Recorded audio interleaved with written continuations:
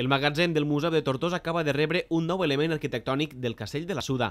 Es tracta d'un petit escut medieval de pedra que simbolitza el blasó de la corona d'Aragó. L'ha donat en dipòsit l'Associació Amics dels Castells, en nom d'una persona que es vol mantenir anònima. Segons l'entitat, aquest aficionat als castells va visitar la Suda als anys 70, quan es construïa el parador de turisme i entre unes runes va trobar l'escut. 50 anys després es va posar en contacte amb l'associació per retornar aquest tros d'història de Tortosa. No és un cas únic, ja que molts altres particulars encara guarden restes arqueològiques a casa seva. Ara ni cap particular es pot quedar res, perquè des de l'any 93 de la, llei, de la nova llei de patrimoni de la Generalitat eh, tots els objectes patrimonials són propietat de la Generalitat. Eh, però anteriorment, amb aquesta llei, doncs, hi havia molts aficionats, ho fent de bona fe, eh, no?